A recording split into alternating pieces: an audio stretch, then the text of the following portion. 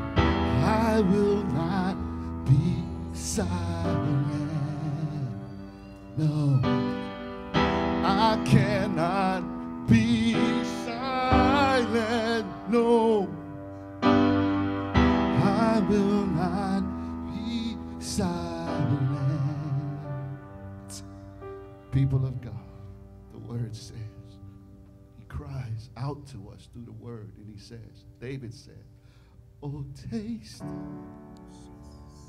and see the five physical senses that the Lord, He alone is good. Oh, taste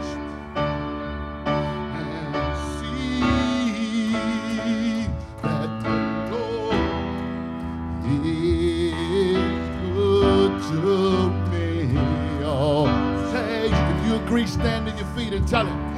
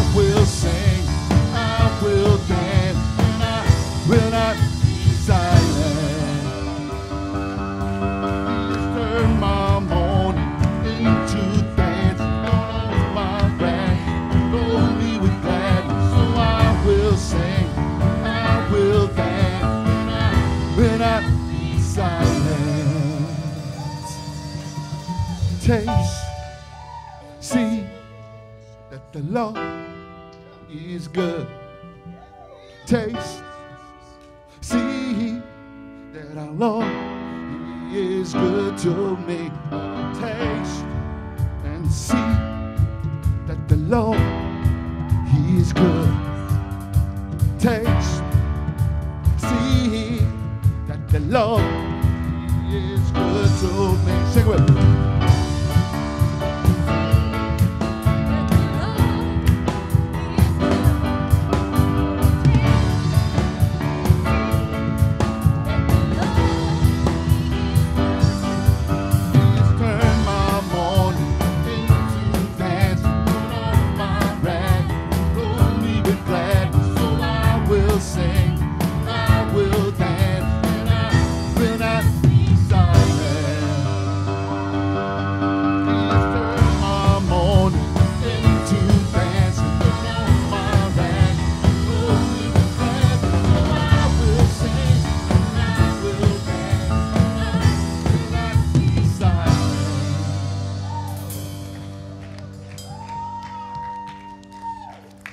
Wanted to introduce you real quick. You may be seated.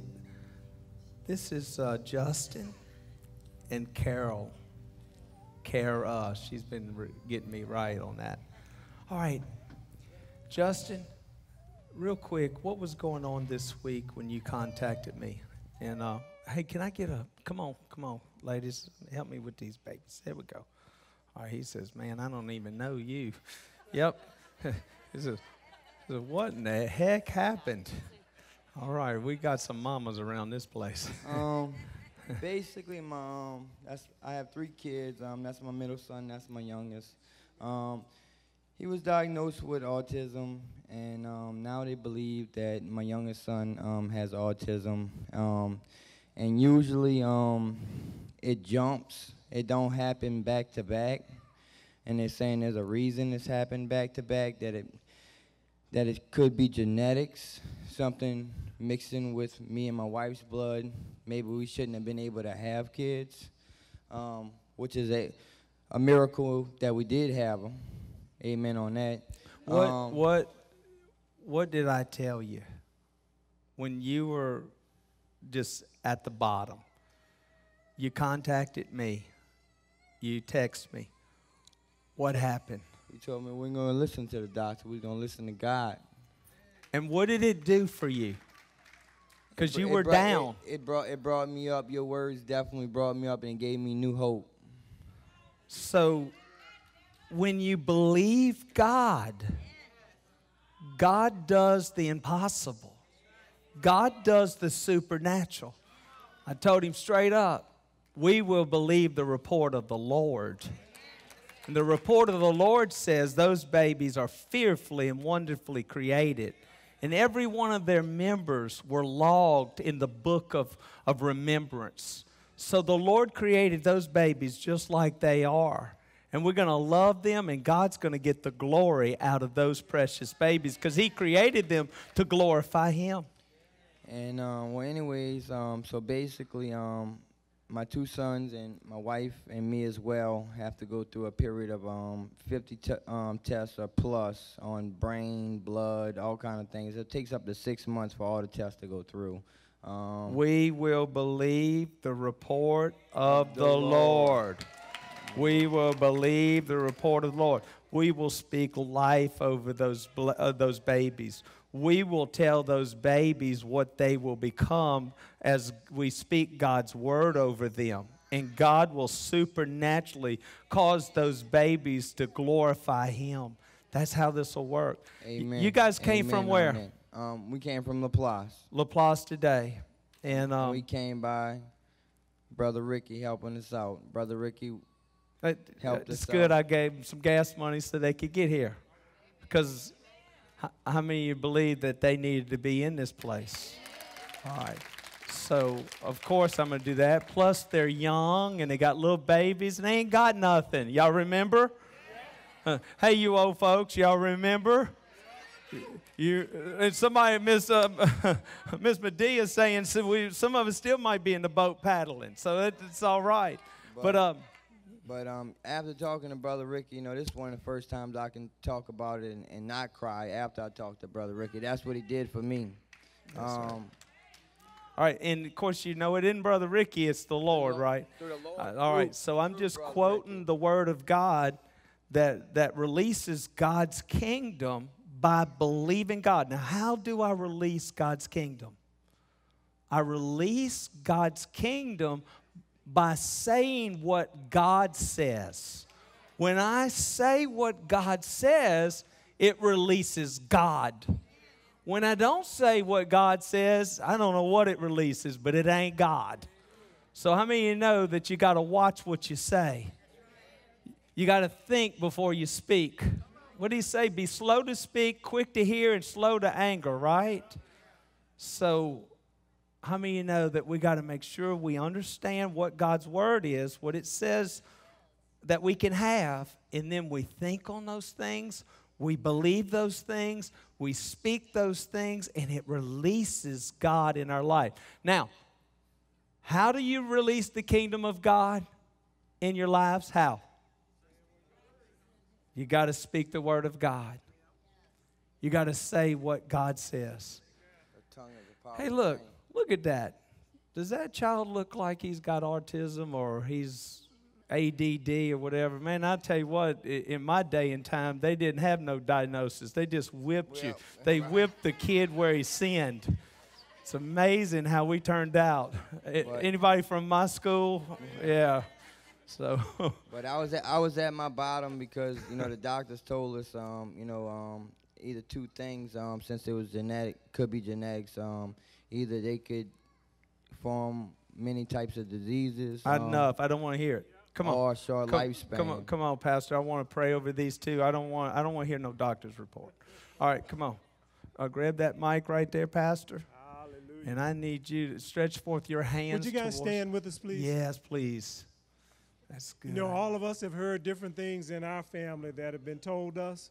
This is a good opportunity as we pray for them that you think of that thing that you have been told and think of what the word of the Lord is toward that thing, and you confess that right now as we pray. Yes. Father, in the name of Jesus, Lord God, we pray for this husband and wife, Lord God, for this family, Lord God. And we speak life over them, Father, in the name of Jesus, Lord God.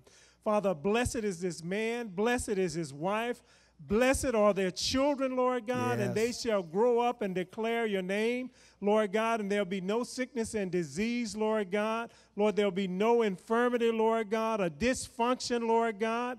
But Father, they will be healthy and strong, Lord God, and you will use them for your glory, Lord God. So right now we confess your report, Lord God, that you have given them children, and these children will glorify you in the earth, Lord God. And Father, everything that they need, Lord God, this household, Lord God, put it there in accordance with your word because you are God and beside you there is none other. So we thank you. We stand on your word, Lord God, and I just speak peace.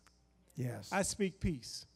yes. I pray, Lord God, that there be no more concern of what the doctors have said, but that they search the scriptures for what you have said. That each and every day, the medicine, Lord God, that you have spoken in the word is what they'll speak over their household, Father. Yes. Father, in the name of Jesus, and for your congregation out here, Lord God. Yes. We confess your word over each and every one of our circumstances Yep. because you are God and you have the final word. Yes. So blessed be your name. And Lord God, blessed be your kingdom. And thank you for what you've done in us. If you can deliver, deliver us from sin, the rest of it is a piece of cake. So we put it in your hands in Jesus' name. Amen. Amen and amen. Shout somebody. Shoot, look at that precious child. That child has got a coloring book and um, is sitting right there coloring, and I'm just as normal as any kid I know. So you may be seated once again, and let's um let's get into the Word of God. If you got your Bibles, we're in Ephesians chapter four. Um, you didn't get what? Oh yeah, we're going to get you. Make sure staff that we get her a Bible before she leaves uh, today, and make sure if you don't get that Bible, contact me, and uh, and I will make sure you get a Bible before you leave. We have Bibles here. Um, today, I want to talk to you about the power of contentment. How many of you believe that it's important to be content with such things as you have? And that when we're discontent, it releases the wrong spirit in our lives. Discontentment causes us not to move to the next level that God has for us in our life. The Bible says that, that contentment with godliness is great gain. The Bible says that Paul, while he was in prison, teaches us what contentment is. It's in chapter 4 in Philippians, and we're going to try to look at that today. But he says that I have learned to be content in whatsoever situation I'm in. Whether I have a bunch or have little, I have learned to be content because contentment does not come from the world.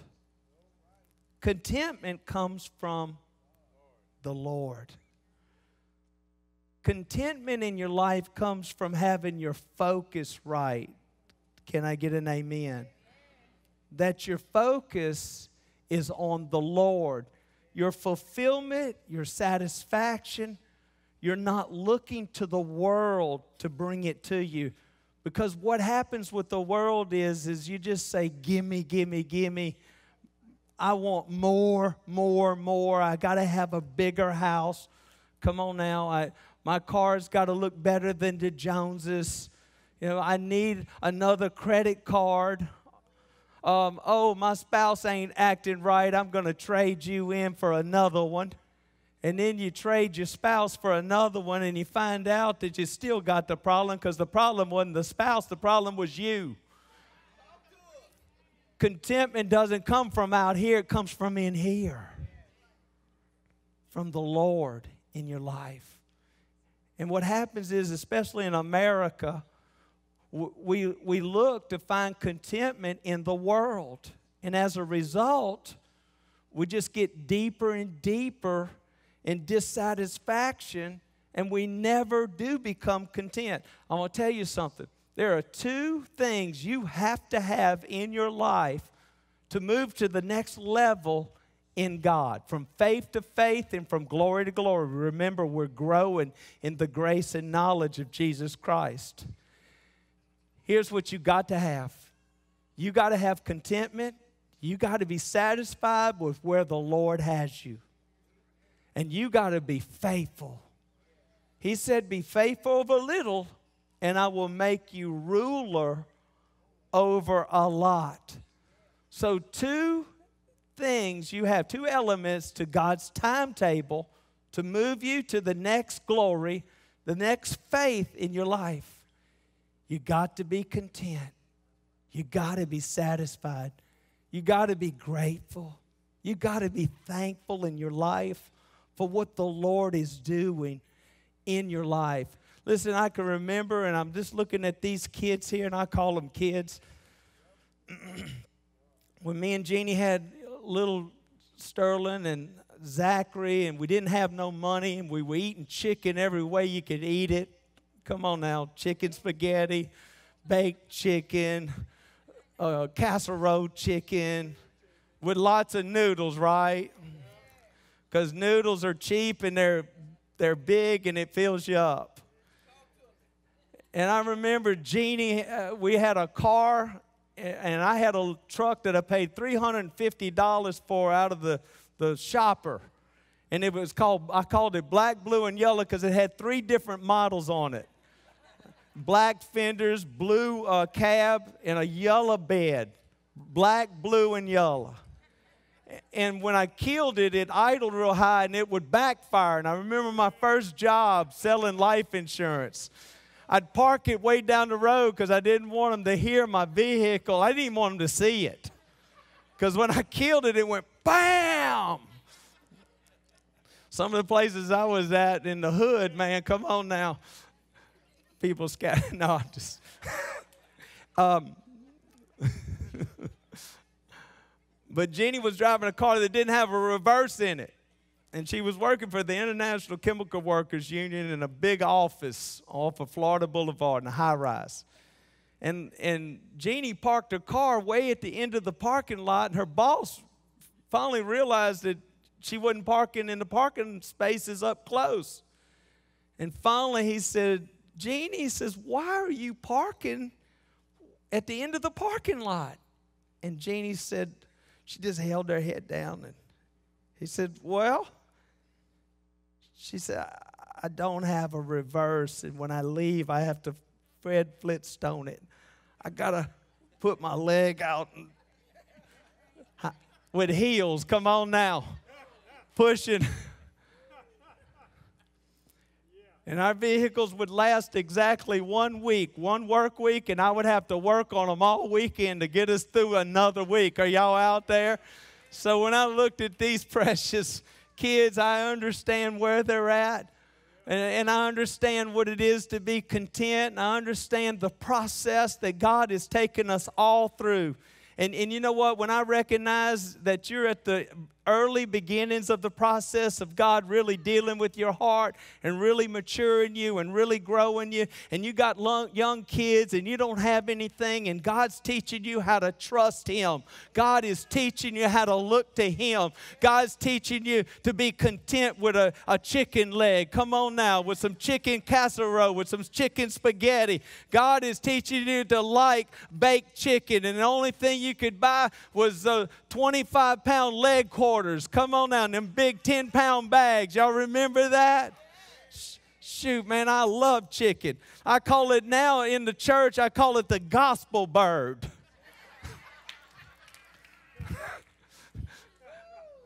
Are y'all out?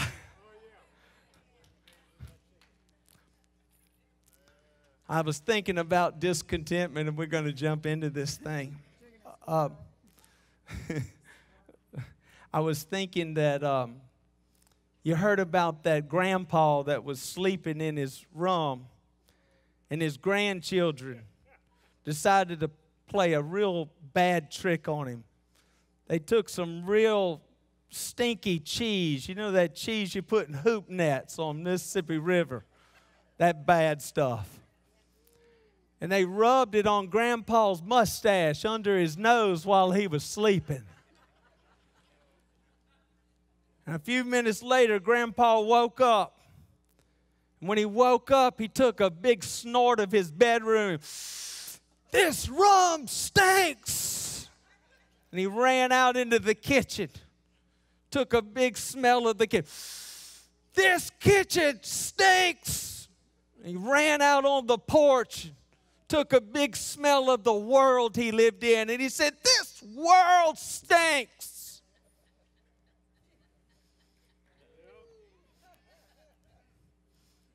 How many of you know that it wasn't coming from? Come on now. It was coming from his heart. I heard another story about two teardrops that were traveling, floating down the river of life. And one teardrop asked the other teardrop, Who are you? And they said, Well, I'm a, I'm a tear from a girl that had a husband that was taken from, from her. And the teardrop asked the other teardrop, Well, who are you? And she said, I'm the one that got your husband.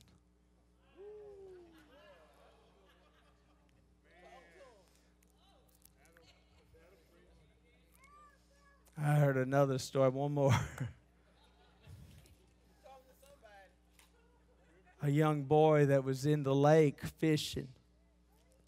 And when he saw the airplanes fly over him, he, he thought within himself, I wish I was a pilot in that airplane flying.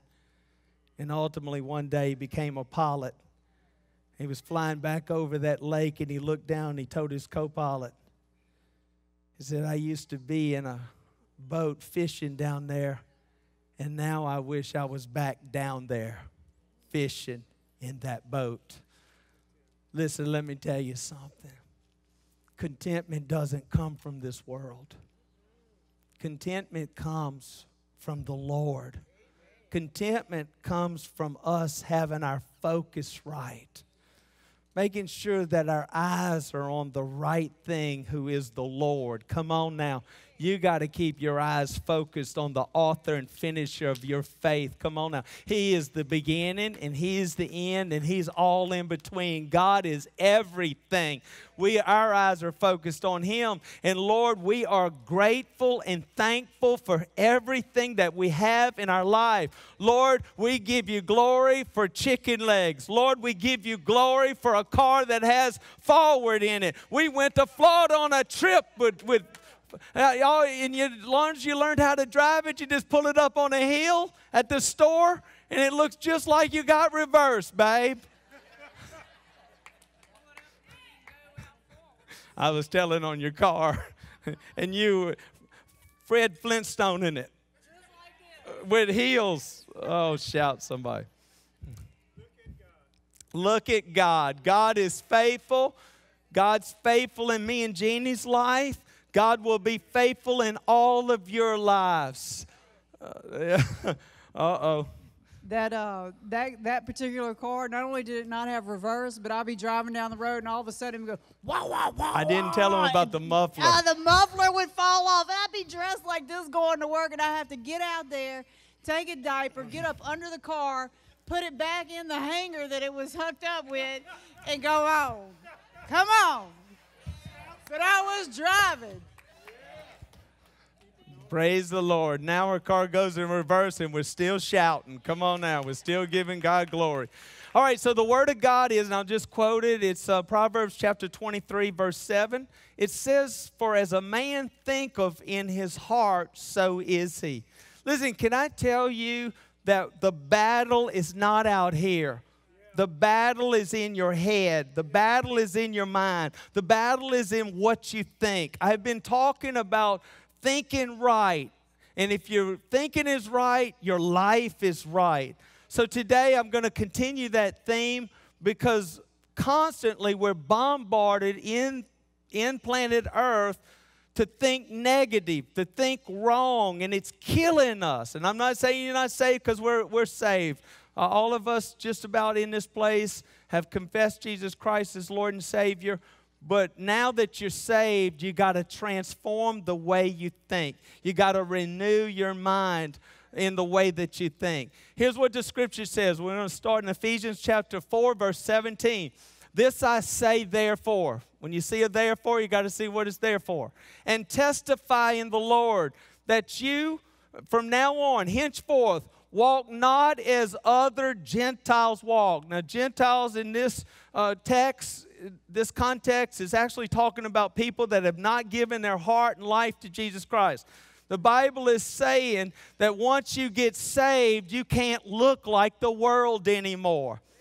Once you get saved, we got to see that there's something different about you, that Christ lives in you, that you've been born again. And, and now the life that's manifested in your life is now Christ. People are seeing Christ in you. Listen, we cannot look like the world. And I'm not going to take this church and do all the worldly gimmicks to try to con you to get into church because I want you to have a real experience with God. I want you to know uh, the Holy Spirit. I want God to really transform and change you in your heart so that you can start to get your mind right. When I got saved, my spirit became born again. My mind did not get saved. Now my mind has got to learn how to think. And in learning how to think, that means that, that you live for Christ and Christ is manifested through your life so that people see Christ rather than see the world in you. Listen, Christians, I'm talking to us today. You got to make a decision to start growing in the Lord. You can't stay stuck where you're at. I'm telling you, God's speaking to my heart about the church right now. We cannot settle, we cannot stay where we're at. We've got to continually grow. We can't be lazy because what's happening is is christians get saved and then they don't go to bible study. Then they don't pray. They don't read their bible. And as a result they're not growing. They're not maturing. They're not developing. They're not becoming mighty men and women of god. They're stuck and that's what Paul is talking about in this scripture right here. He says, once you get saved, you can't look like an unbeliever anymore. You can't be a Gentile. You're something different. Jesus Christ has invested a down payment called the Holy Spirit in your spirit. Now you are light. Now you're power. Now you're kingdom of God. Now you're powerful for God. You cannot be buddies with the world. You got to love the world, you got to reach out to them, but you can't wallow in the same pig mud hole with them because you are not that anymore. And in order to change, you got to change the way you're thinking. You got to change your mind. Here's a scripture. I'll just quote it real quick. You can jot down in your notes. Romans chapter 12, verse 1 and 2. You need to memorize this scripture. I beseech you, brethren, by the mercies of God, to present your body a living sacrifice. Watch this. Holy and acceptable unto God, which is your reasonable service. This is expected of you. And be not conformed unto the world, but watch this. Be ye transformed. How? By the renewing of your mind that you can do what? Prove that which is perfect, holy, and just will of God. So now you're saved, but now you got to teach your mind to mind. You got to teach your mind what it needs to think and how it needs to think. And there's where the power of transformation is going to come in your life so that we can see Christ. You got to think like Christ. You got to have the spirit of your mind changed changed. And don't walk in the vanity of Gentiles' minds where they live uh, ungodly, having the understanding darkened, being alienated from the life of God. In other words, because they're choosing to not grow and mature and develop in God. They're choosing not to, to, to feed their mind with the Word of God. Now they're getting alienated from the life that's in God. There's life that comes from the Bible. There's life that comes from God's word. Praise the Lord. And so so when you feed your brain God's word, then what happens is the life of God comes in you. And the life of God transforms you and transforms everybody around you. Listen, church, we cannot be lazy Christians. We cannot be complacent in our life. We can't take for granted the kingdom of the living God. I'm saying once you get saved, there's more. You got to want wisdom in your life. You got to want knowledge in your life. You got to want understanding in your life. You got to want to grow. Don't settle. Y'all know that dog Does he like bones? You said, yeah, he likes bones. I said, no, he likes steak. He'll settle for a bone. You can't settle. And the scripture says, who being past feeling, what have they done? They've given themselves over unto lasciviousness. lasciviousness is, is, um, is out of control lust, is really what it is. In other words, they can't control their lust. They can't control not turning on the computer and looking at pornography. Lasciviousness. Got quiet in here. So it, the scripture says that, that, that you got to have a heart, man. You got to still feel. You can't have a hard heart. You got to have a soft heart. So they've given themselves over to lasciviousness, to work all uncleanness. That's perversion, sexual stuff, with greediness. But you have not so learned Christ. And if so be that you have heard Jesus, Him, and have been taught by Jesus, Him, as the truth is in Jesus Christ our Lord. Verse 22 that you put off concerning the former behavior, conversation, the old man which is corrupt according to the deceitful lust. Meaning that when you were lost and in sin and didn't have Jesus uh, in his spirit in your heart, you lived like the world. You lived like the devil. You, you gave yourself to lasciviousness where you had unbridled lust and sex in your life because you chased everything in the world. And you didn't care. Lasciviousness has the overtone to say that you don't really care what you believe, and I don't care. I'll do it in public. I'll do what I feel like doing when I feel like doing. The problem is, is your feelings ain't God's feelings. Your feel, your your heart is not God's heart. You're living for the world. You're living in the things of the world. Are y'all? And the scripture says and that you put on the new man. And I listen, I really thought, I said, I wish I had a, an orange jumpsuit because I was going to come out and start preaching in an orange jumpsuit today, like a jail jumpsuit. And then I was going to take it off, put the new man on, and be in a suit. But I didn't have enough time. For whatever reason, I didn't do it. Sometimes. So you got to put on the new man. Are y'all out there? Listen, church. The Lord is counting on us He's looking to us to grow up. He's looking at us to not be lazy.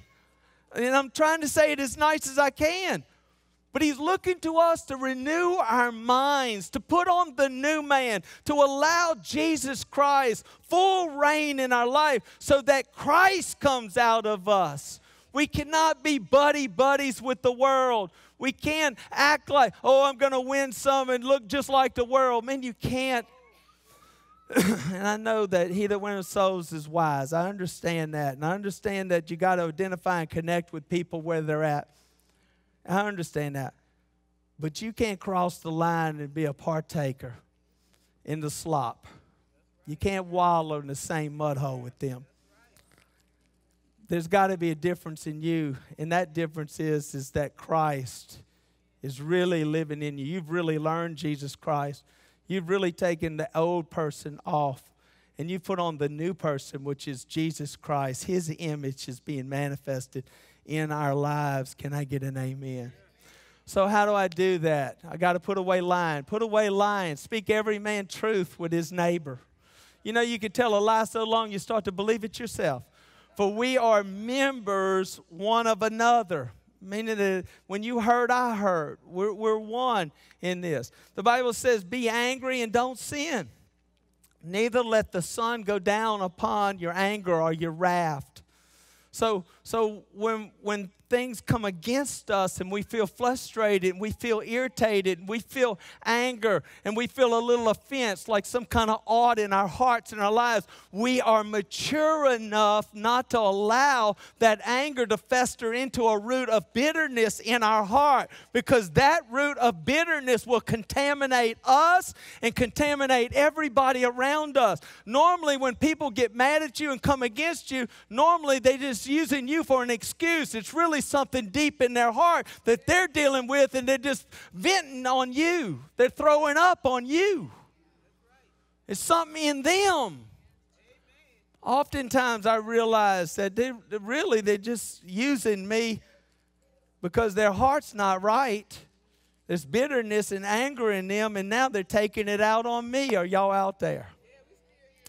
So, stealing, the Bible says that let him who stole steal no more, but rather labor with his hands, uh, working that which is good, that he may have to give to those that are in need. So, so if you used to steal, the new man doesn't steal anymore. Now you're working with your hands. Now you're looking, you, as you're blessed by God, now you're blessing others. You're blessed to be a blessing. The Bible says that you got to use your hands for the glory of God, to be a servant. The Bible says you got to take, uh, take control of your tongue. Let no corrupt communication proceed out of your mouth. Well, somebody says, Is that just cussing? No, that's speaking death in people's lives. You ain't never going to be nothing. You was a mistake. I wish I'd have never known you. I've been worse for knowing you in my life. That's corrupt communication. Don't let it proceed out of your mouth. But, but that which is good, come on now, if you ain't got nothing good to say, come on, don't say it at all. Uh, but make sure your good coming out of your mouth is edifying. In other words, if you're not building people up, if you're not helping people, keep your ignorant mouth shut because it's ignorant. And that's what the scripture says. Let no corrupt communication proceed out of your mouth, but that which is good to the edifying, that it may minister grace to the hearers. Here's your job to release grace everywhere you go. What is grace? It's God's unmerited favor. You don't, you don't even have to perform for me to be nice to you because I'm just going to grace you because that's what God's put in my heart and that's what His Word says.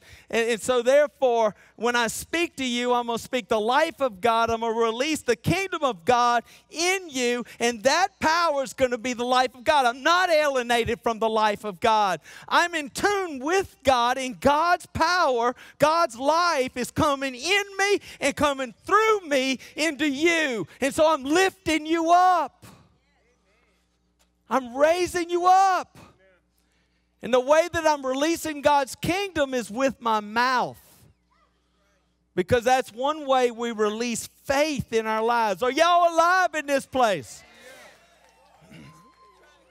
Listen, this is real kingdom teaching. This is the real deal. This, this is how it works. And I've been, I've been practicing the kingdom of God for 31 years, 34 years, somewhere around in there. So what I'm saying is, is, is that I've seen the kingdom of God even take us with no reverse to a car that has a reverse. Shout somebody. And grieve not the Holy Spirit of God. Come on now. I mean, you know, you never want to hurt God's feelings. Wait a minute.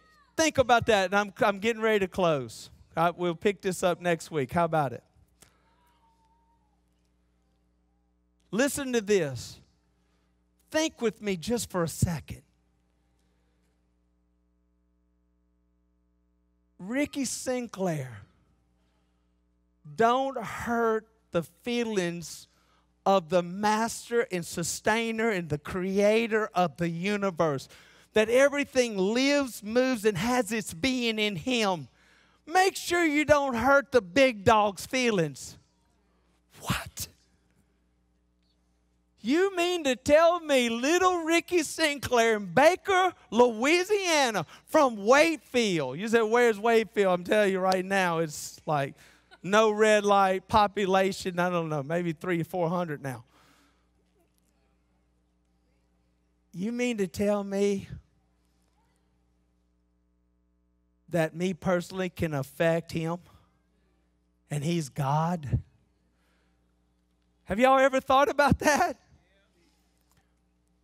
How in the world could little us grieve God, God? It's because of God's great love for us. That God cares so much about each individual, each and every one of us, that if I go against his person, it affects his heart. Man, I don't know about y'all. That's like a, I, I don't, I can't even, my little pea brain, my little finite man, I just can't even fathom.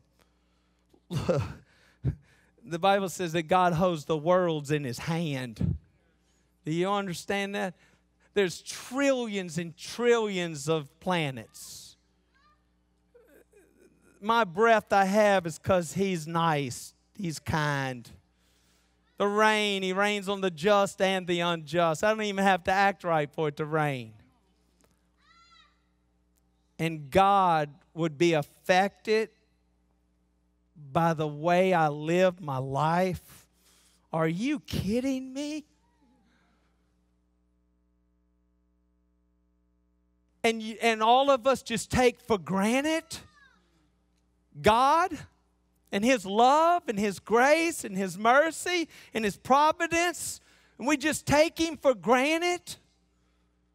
And we think, oh, I can just say anything, I can do anything, oh, God will forgive me. What? Man, I don't know about all of you guys, man, but I want to be a finisher. I want to finish strong for God. I want to be found faithful. Where's Pastor Ken? Come on, Ken. I want to be found faithful in the end. I want to be found steady in the end. I want to be found. Listen, I'm going to say one, one, one, one more thing as I get ready to close.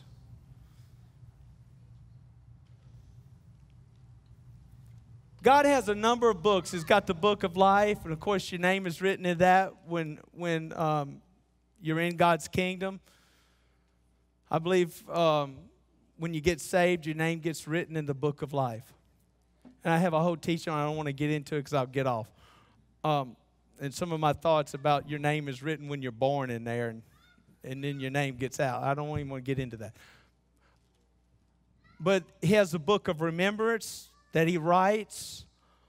All of your members of your body, every creative part of you that God created. You're special. You're unique.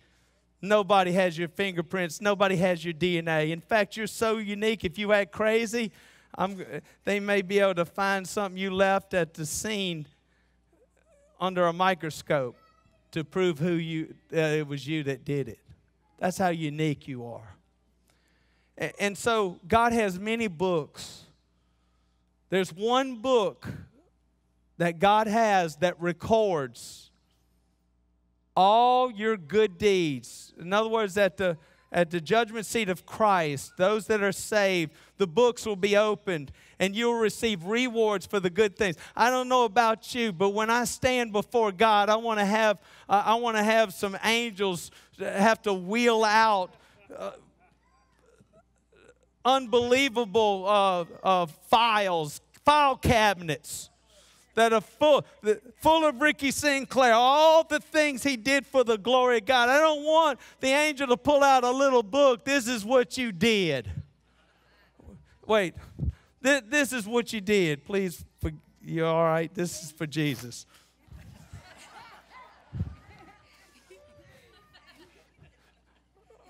Um, here's God. Um, angel Bring out so and so. I won't put a name on it. Bring out so and so's file. And here comes the angel. Here's your Jesus.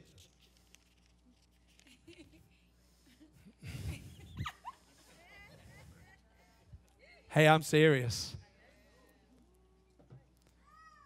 Saved. The problem is, is when you gave your heart to the Lord, you never would you wanted to sleep in so you couldn't make the 10 o'clock Sunday school class. When it was time to do something at the church, you had your own agenda. You didn't have time for God and His kingdom.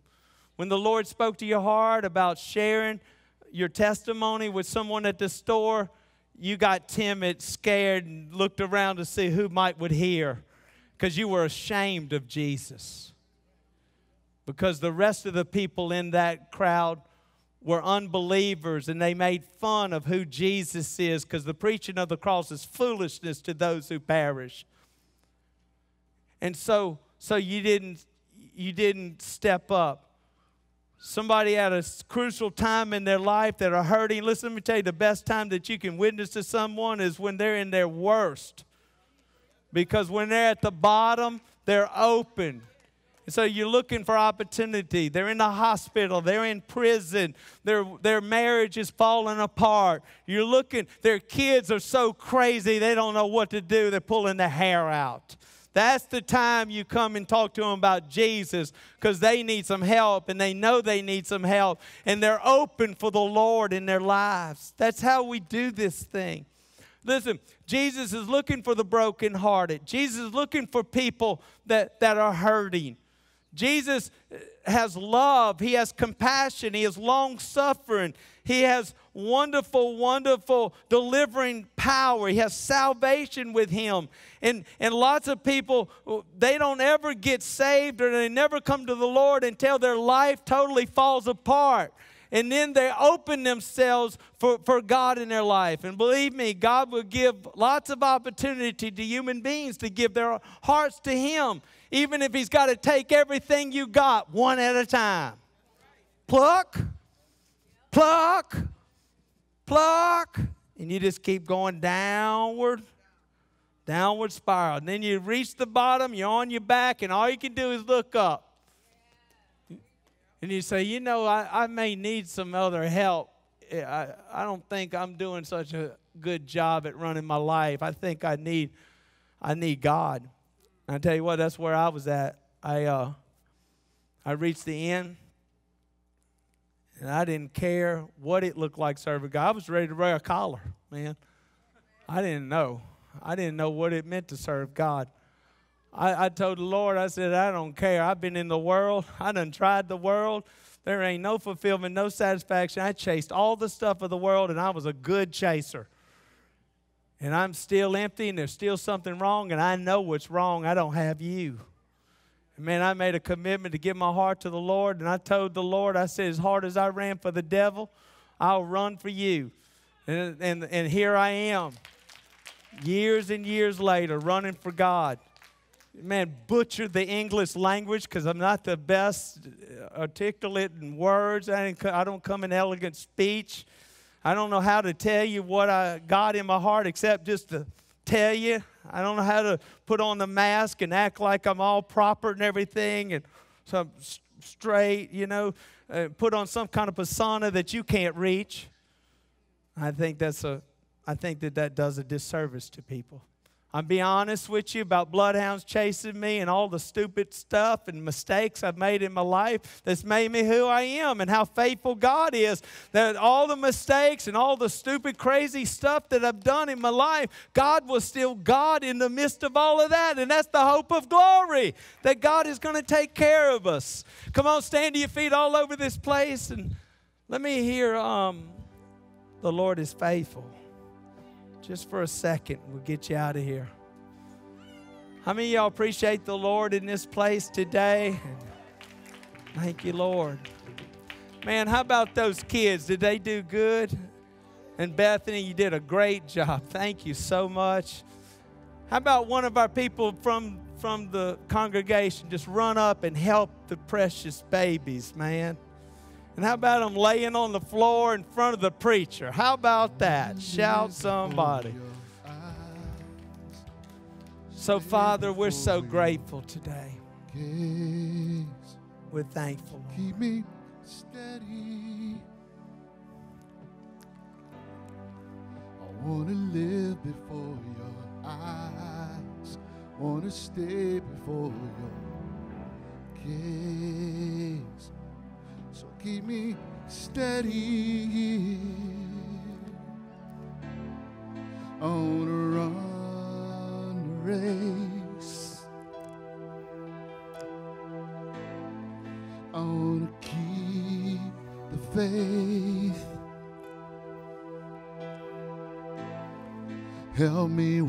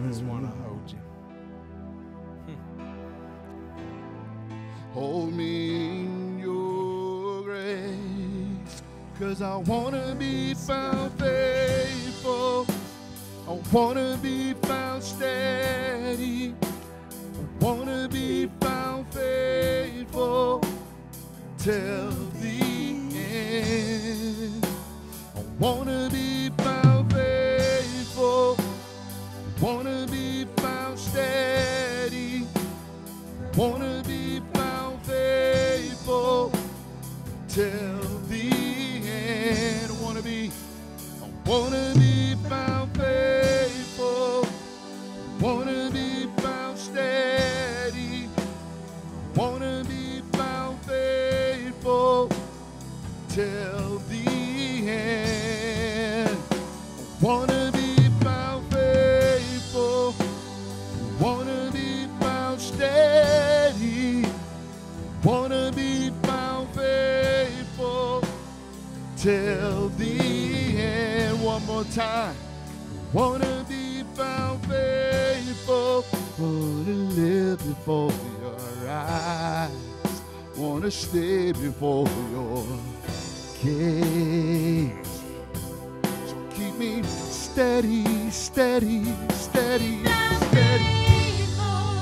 Wanna live before your eyes. Wanna stay before your gaze. Keep me steady.